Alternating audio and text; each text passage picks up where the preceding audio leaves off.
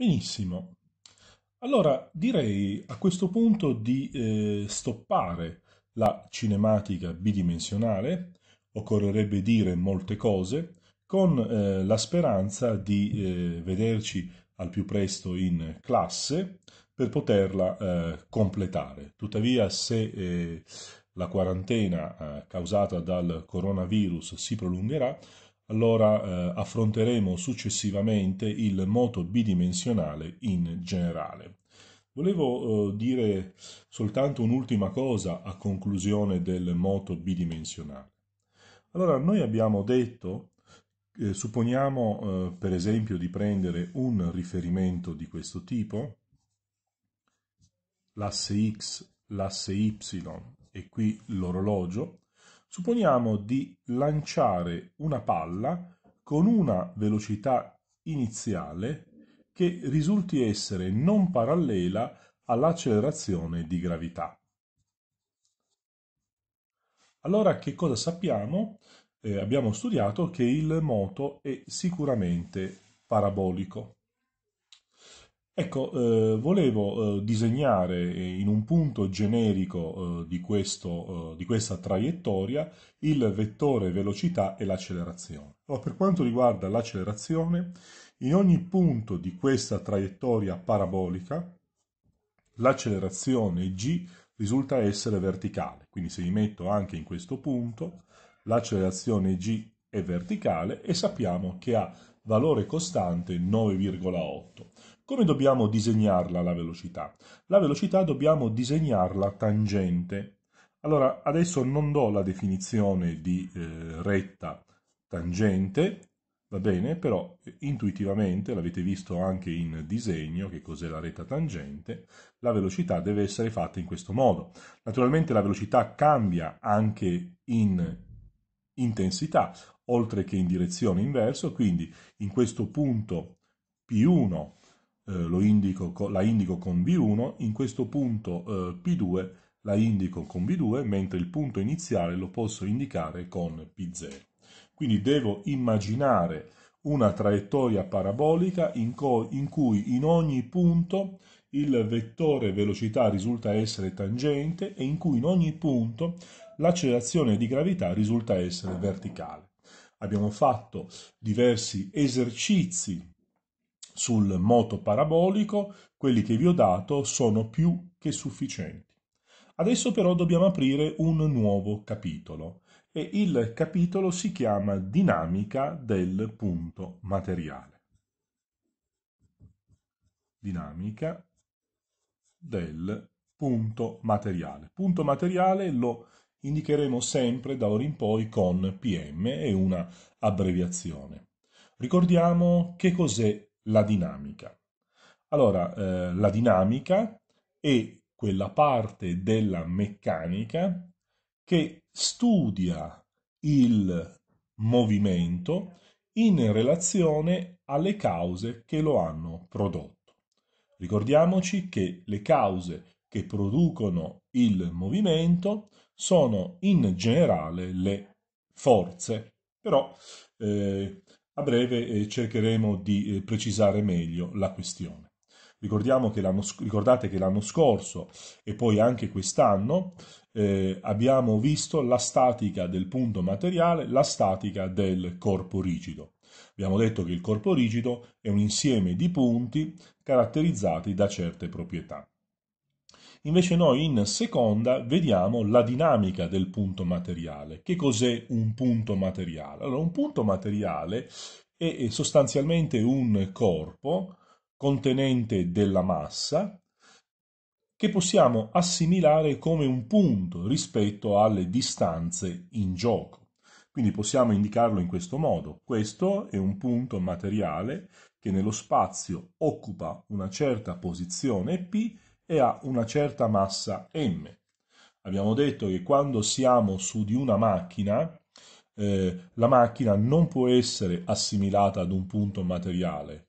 Quando però dal, dal, dal, dall'ultimo piano del grattacielo guardo la strada, le macchine mi sembrano tanti eh, punti materiali. Ecco, Adesso, prima di iniziare lo studio della dinamica, diventa importante eh, analizzare i diversi sistemi di riferimento. Quindi dobbiamo fare adesso un'analisi analisi dei sistemi di riferimento. Abbiamo già detto che cos'è un sistema di riferimento durante le lezioni, però adesso ripetiamo un pochino eh, il concetto. Allora, abbiamo detto che un sistema di riferimento unidimensionale, quindi uno dimensionale, unidimensionale, non è nient'altro che un asse cartesiano, va bene, munito di un orologio. Poi abbiamo eh, detto che un sistema di riferimento bidimensionale è un sistema di, assi, di due assi cartesiani ortogonali munito di un orologio, questo è un sistema 2 dimensionale e infine abbiamo un sistema di riferimento tridimensionale formato da tre assi cartesiani mutuamente ortogonali o x, y, z, questo si chiama tridimensionale. Attenzione, quest'ultimo uh, sistema è quello in cui studiare in tutta generalità la dinamica di un punto materiale, perché come sappiamo un punto materiale si muove in generale nello spazio tridimensionale. Quando noi eh, diciamo facciamo muovere un punto su una retta è chiaro che eh, stiamo facendo una forzatura, no? Per esempio immaginiamo una macchina che si muove eh, su una strada rettilinea, allora possiamo dire ah, la macchina la possiamo assimilare ad un punto che si muove su di una retta, oppure quando una mosca si muove su di una superficie sulla superficie di una lavagna, allora eh, le zampette descrivono diciamo, eh, una traiettoria nel piano della lavagna. Allora, che cosa possiamo dire eh, dei sistemi di riferimento? Allora, dei sistemi di riferimento, perché i sistemi di riferimento vengono introdotti? I sistemi di riferimento vengono introdotti perché il concetto di moto, il concetto di moto è un concetto relativo. Facciamo un esempio legato all'astronomia. Allora, quando noi diciamo che il, i pianeti insieme alla Terra si muovono intorno al Sole, noi stiamo dicendo che stiamo considerando un sistema di riferimento nel Sole dal quale poi vediamo eh, il movimento degli altri eh, pianeti. Facciamo, facciamo un esempio, tanto in scienze l'avete fatto. Allora, voi sapete dalle scienze che la Terra, ma anche gli altri pianeti, si muovono, diciamo, uh, su uh, un'ellisse che studieremo diciamo, eh, in matematica il prossimo anno, di cui il Sole occupa uno dei due fuochi. Però attenzione ragazzi, quando noi diciamo una cosa del genere, noi stiamo pensando di studiare il movimento della Terra in eh, relazione al Sole. Quindi sostanzialmente prendiamo un sistema di riferimento solidale al Sole. Eh? Generalmente eh, si prende eh, l'origine nel punto medio dei due fuochi, però possiamo immaginare che questo sistema di riferimento sia solidale nel Sole. Tuttavia, noi possiamo anche dire che la Terra è ferma, il Sole e gli altri pianeti si muovono intorno alla Terra. Allora questo che cosa vuol dire? Vuol dire semplicemente che io sto prendendo un sistema uh, di riferimento solidale alla Terra, solidale alla Terra, e vedo i, e vedo il movimento dei pianeti, per esempio di un pianeta P, in movimento rispetto alla Terra. Questo pianeta descrive una traiettoria che risulta essere più complicata rispetto all'ellisse perché si chiama eh, una, una, traiettoria epicicloidale.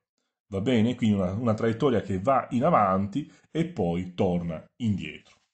Allora, a questo punto, quindi, eh, pensare che il Sole eh, stia fermo, la Terra e i pianeti girano intorno al Sole e pensare che la Terra stia ferma e i pianeti eh, girino intorno alla Terra, naturalmente sono tutti e due questi punti di vista accettabili. Naturalmente però eh, da matematico, guardando le traiettorie, eh, io sono convinto che eh, eh tutti quanti noi optiamo nella scelta di un sistema di riferimento solidale al Sole perché la traiettoria risulta essere molto più semplice rispetto alla traiettoria epicicloidale che ho descritto qui. Quindi conviene prendere un sistema di riferimento solidale al Sole per descrivere il movimento dei pianeti. Allora eh, si pone eh, a questo punto la seguente key question che studieremo, che risponderemo, a, che risponderemo nella prossima lezione. Quali sistemi di riferimento che indico con SDR conviene scegliere? Per studiare il moto. Quindi questa è una domanda centrale, eh, molto importante, che eh, darà luogo all'individuazione di una classe di sistemi di riferimento molto importante che si chiamano sistemi di riferimento inerziali.